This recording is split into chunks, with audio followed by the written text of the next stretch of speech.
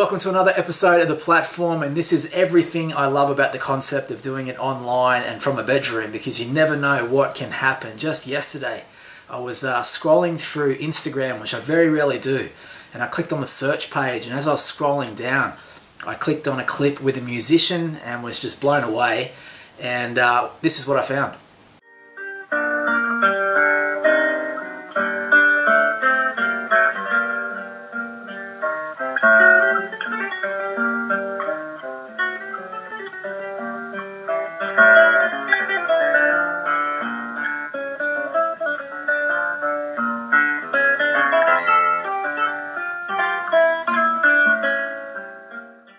So her name is Thu Le, and I sent her a message on Instagram, and the very next day we jumped on Skype and filmed this for the platform. Well, look, it's it's great to have you on the show, and it's so random to just see like a video on Instagram and press play and see you're playing. Um, you're so amazing at what you do. How how did you get involved with playing guitar? Well, I started when I was three and a half years old with my father because he was also a guitarist. Wow. So uh, he just uh, started to teach me like classes for fun, just to, to play with the guitar. And then I started to learn seriously when I was four years old with him. When you were four, is this in Vietnam? Uh, we, we were in Vietnam, yes. He passed away uh, already nine years ago. Oh, I'm sorry to hear. Right. So, when you were a kid and you're getting taught by your dad, like, were you passionate about it too, or was there like a pressure from your family to start to be, you know, concentrate on it? Well, when I was four years old, I, I didn't know anything, you know. I could hardly even remember how I started. And uh, when I could remember a little bit was when I was five, when I had the first performance. and when I started to know, I already know that I already know how to play guitar. And uh, of course, my father was very, very strict, and uh, he was a painter actually. Wow. So he, he was working all the time at home, and uh, always he was there painting and I was next to him playing guitar. It's more like a habit, you know. You every day you do the same thing. You don't feel it's a stretch or pressure or uh, or you really passionate about it. You just don't know. You just this is what you do every day. Like you wake up, you brush your teeth. And so, at what age for you did you know that you were like really, really good at it? Well, at seven years old, I took the exam to enter the music conservatory in Hanoi. It's called the Vietnamese National Conservatory at the time. So uh, I remember that I had to, for the first time, practice really hard and seriously. And uh, my father really put a lot of pressure. Like there are many people who took the take the exam, and the conservatory will choose only two people to go to study. So this is uh, when you really have to take it serious. And yeah, I did it at and seven you, years old. In? Did you get in? Yes. Wow. So what happens then? Do you like just study all the time, like living there or something? What happens? I studied there for 15 years. uh, you know, the, the system at the time is very different than now that you have to enter like a, like elementary school and then middle school and then university so I started from the very first set in the conservatory until I graduated is 15 years. Wow. So I completed uh, in 2001. Yeah. 2001, yes.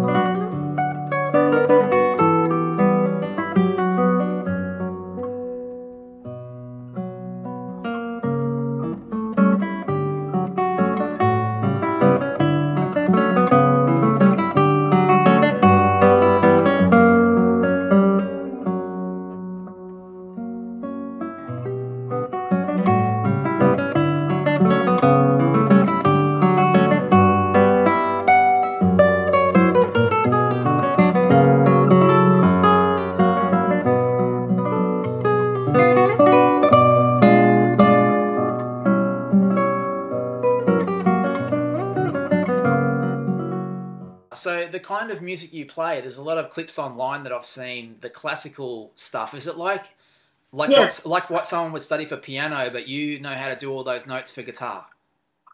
Yes, uh, we have a lot of guitar composers, but also we play a lot of uh, transcription from piano or violin and transcript for guitar. So yeah, we call it classical music. Wow. So do you ever like get the urge to I don't know play Oasis, Wonderwall, or a Foo Fighters song? Like, can you rock out and play current music? Ah, yeah, I do. I do. Actually, uh, when I was like 17, 18, I started to listen to pop and rock music a lot. And uh, my first favorite uh, pop rock band was the Beatles. Ah, wow. So I played a lot of the Beatles and then some of the classic rock like Aerosmith, uh, Metallica, Nirvana, and Oh it was so God. fun and it was so cool and it's different and I enjoyed it so much. And still now I do play pop music sometimes, and I do a lot of uh, arrangement of pop songs for classical guitar. There's a great video online with uh, I think it's your daughters are playing like a Christmas song with you. That must be a pretty cool Yeah, thing. yes. Yeah, they are my two daughters. So that must be amazing feeling to, to, to watch them grow and learn, thinking what you've learnt as a kid. Yeah, actually, teaching them, uh, teaching them reminded me a lot about how I was studying with my father before, and made me appreciate my father more. Which at the time I was too small and too stubborn, and you know you don't care so much, and sometimes at some point you don't want to do it. But now you teach your own children, and you feel really thankful for for what he did to you.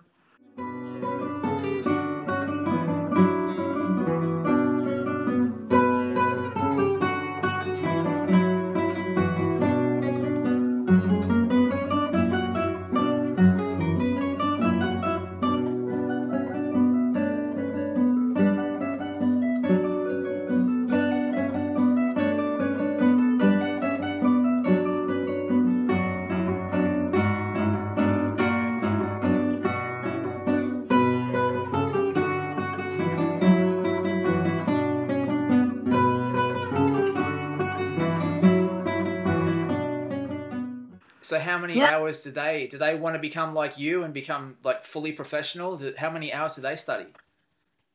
Well, they don't really practice much, you know, because uh, my time was different. You know, at the time we we went to school only four hours a day in Vietnam, Ah. but now they have to do almost like full day at school and homework, and there are so many more other attractive things. You know, they go out. There's iPad and all of this uh, they want to do, and I want them to grow up like a child. You know, I don't want to force them too much with studying. So as long as they keep playing and uh, they are in touch with music, but Yeah. I don't push them to be a professional musicians. So where's- see how it goes. you and I are skyping. You're in Bahrain. Like, um, how did you end up there? Well, I actually live in many different places because of the work of my husband. He's working for a hotel and company, and every three, four years he has to move to a different place. So I just pack and carry my guitar and go along with him. well, that can be fun adventures. But what do you think about Bahrain? Is it a cool place? It's a very nice place. It's a small island and surrounded by water, which is very good for music, I think. So I'm very happy. Cool. So, so where's some of the places you've been where you've toured? Uh, touring, I've been to actually many places uh, in Asia, like Thailand, Malaysia, Nepal, India, uh, then Turkey, Bahrain, of course, Saudi Arabia, Bulgaria, Romania, Europe, Germany, France, uh, all the country in mostly in, in Europe and uh, US. I started from last year and this year, and I plan to go more to US next year. But I've never been to Australia. Yeah, why not? I don't know. I hope. we'll have to get you out here to play.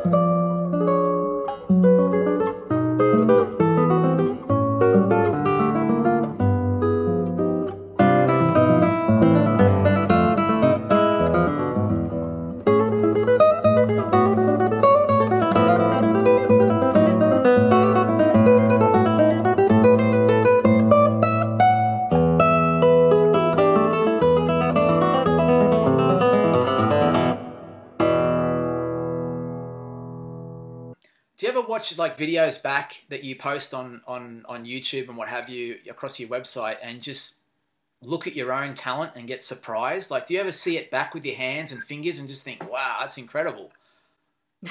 you know what is the truth?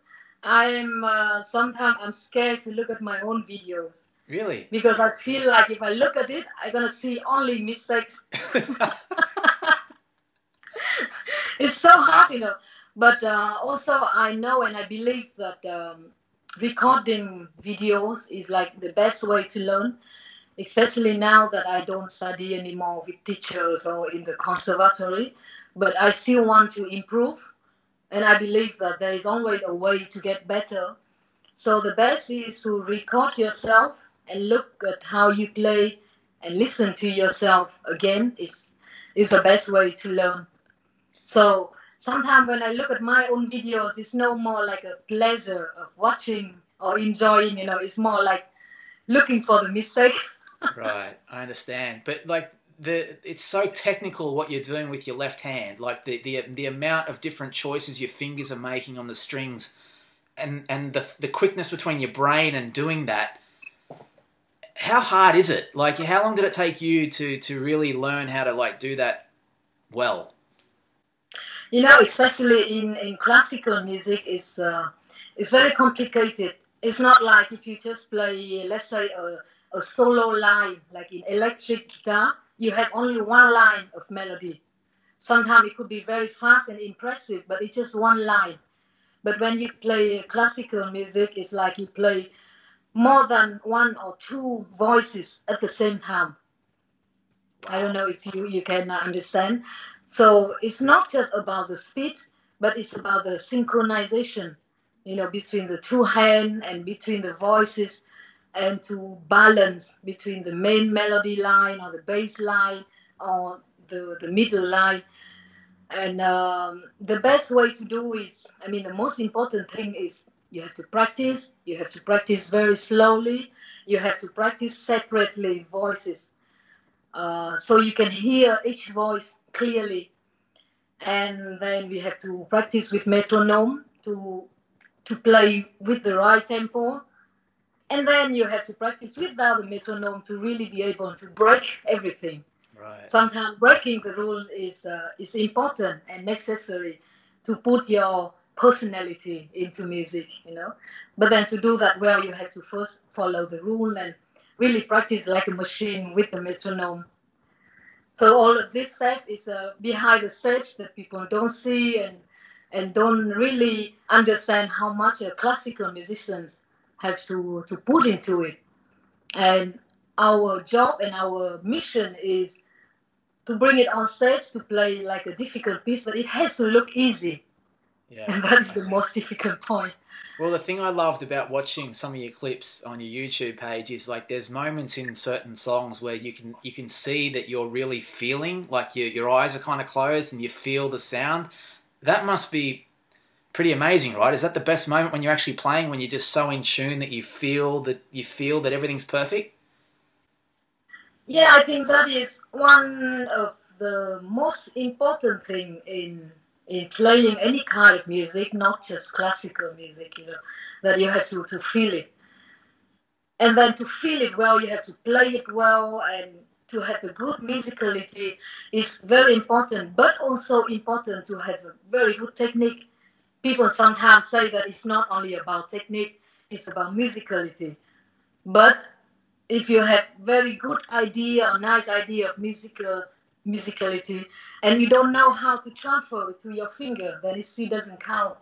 Right. So technique is like your equipment, it's like your weapon to bring your ideas. So both are important. And then if you can do both well and combine them together, then you bring it to the next level of just just enjoy, but no more thinking about technique or about uh, musicality, but it's just about enjoying.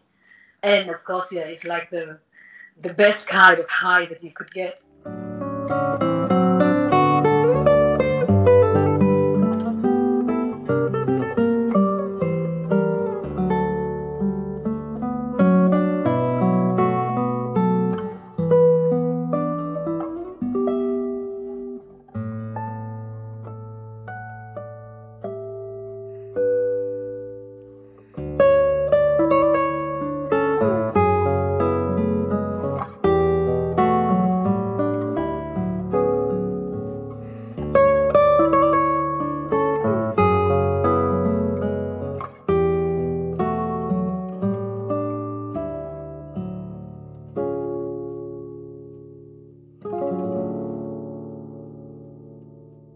Can only imagine when I watch because I certainly can't play guitar at all. So it's uh, it's amazing to watch someone who's really really good at it.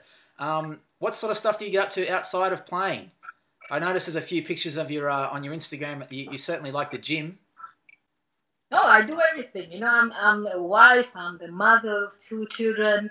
I do gym almost every day. I swim, and I love to dance, and I cook. I clean. You know, as a normal mother, normal uh, uh, daily routine. And of course, uh, when I'm on tour, I cannot do all of those things because uh, on tour you're just very busy and concentrate on concert and then meeting people, and and I don't drive and I don't drink. So that's the two things I don't do. okay. Well, I love asking people like if they could live the ultimate dream, what it would be. So can I ask you that? What's what's your ultimate dream if you can live it? I think I am living a dream because uh, people are always we all know that the most two important thing in life is uh, family and career. And uh, I must say that until now, I'm, I'm proud. I'm very happy that I could be able to do both. Not perfectly, not at the best, but I'm doing and I'm still still going on it. So I can say that uh, I'm, I'm very happy with what I'm doing right now. And the most difficult thing is to be to balance you know, between family and job, and especially as a woman. And um, I'm proud that I still do it both. And of course, uh, I have to say thanks to my family, especially to my dear husband, who is always beside me and not just keep me for him, but you know, helping me a lot in my career. Oh, that's so cool. Tell us about how we can find you online and your socials. Ah, there you can type in my name, Thu Le, guitarist, very cool. very cool. Hey, so cool to have a quick chat with you on the show. I think you're amazing what you do, and uh, all the best with it. Thank you so much, Andy. It's such a pleasure talking to you. And uh, I uh, wish a lot of success to your show too. And thanks for introducing me you're welcome. to your show. Very welcome. Really cool what you're doing. Yes, there you go. Super fun, super random to just jump on Skype and go around the world, and uh, super fun to film with someone in Bahrain. Thank you for watching, and we'll see you next time on the platform.